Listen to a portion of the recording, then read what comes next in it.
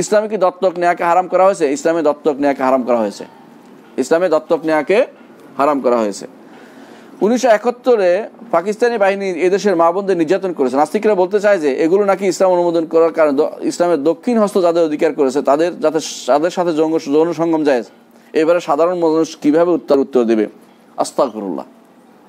কখনো কোনো মুসলিম কোনো মুসলিম কখনো দাসদাসী হইতে পারে না। একটা পাইকারি কথা। কোনো দিন কোনো মুসলিম দাসদাসী হইতে পারে না। রসুল্লাহ সাল্লাহ আসলাম বলেছেন সালাহুন আনা খাসমুহুম ইয়ামাল কিয়ামা। তিন শ্রেণি আছে, তাদের বিরুদ্ধে আমি কিয়ামতের দিন দাঁড়াবো।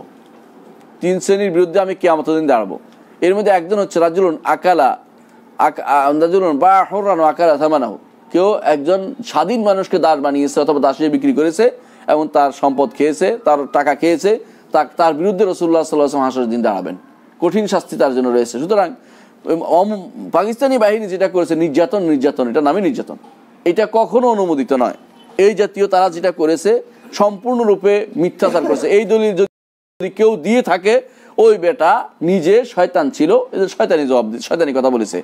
এটা ইসলামের কোনো বাণী নয়। ইসলাম যেটা বলেছে যুদ্ধ ক্ষেত্রে অমুসলিমদের সাথে যুদ্ধ হবে এবং সেই যুদ্ধ হতে, মুসলিমদের মধ্যে হানাহানি যুদ্ধতে কেউ কোনোদিন গণিমতের মালও নাই, কোনো, এই জাতীয় দাস দাসীও নাই, এই জাতীয় কোনো বেবিচারের কোনো সম্ভাবনাও গ্রহণ করা হয় নাই।